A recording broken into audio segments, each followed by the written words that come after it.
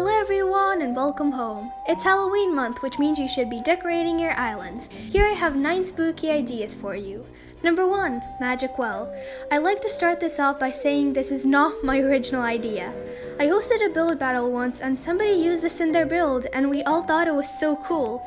It looks like magic is making these flowers float above the well. I also added a sparkler behind the flowers for a more magical effect. The trick is to place down four tiles of water underneath the well so the object floats. You can use the flowers in the vase for it to float higher above the well, or use the ones without a vase for it to float lower. I personally prefer the first variant. You can actually use some different things too, like a jack-o'-lantern. Make sure to cover up the dirt edges. Number 2. Ghosts. This uses the same concept as the previous idea. The snow ponies look like ghost ponies, so you can hide them around and pretend they're ghosts. Adding water underneath them makes it look like they're moving. You have to place a plate first though, otherwise the snow pony will just stand there. I suggest adding these behind walls or behind some crates and boxes. Number 3. Hanging Skull. This is very simple yet effective. So straightforward. I've used a straw as it looks like it's tied around the neck and a long sparkler with the same pattern as the rest of the rope. You can add a few bones on the ground too. Number 4. A guillotine. If the previous design didn't do the trick, this one sure will. I've seen many designs of this, but this one is definitely my favorite. I may have taken it from a person in my Discord server.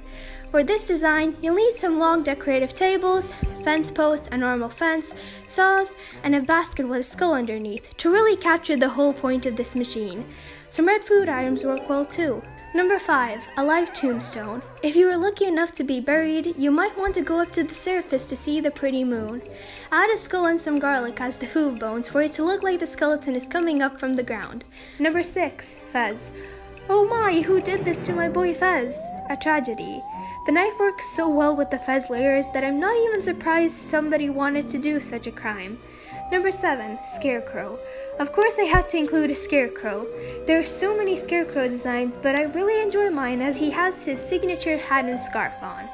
I use a sphere lamp and unlit sparklers as the body, a jack-o'-lantern as the head, and some of the tags as the hat and scarf. The longer tag makes the scarf look like it's being slightly blown to the side.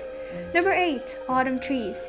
I know we have autumn trees in Pony Town, but it really bugs me how the trees have a falling animation, yet they are always full of leaves. Infinite leaf glitch? You can make a custom half-naked tree by using the grapevines, fence posts, and a stump. It looks really great zoomed out. They are super unique and worth a few extra objects, plus they are way more realistic. Number 9. Black Cat. I love the black cat that sits on the fence post on the main map. They are so cute and I love them. You can bring this little lad to your island now. Use a black candy, black tiny inlet candles, and a cherry stem as the tail and bam! The most friend of all time. Bonus, jam. Add a bunch of red berries, tomato slices, and bell pepper slices around your island to achieve the same vibe as adding redstone in Minecraft. Thank you so much for watching. Happy Halloween. Bye.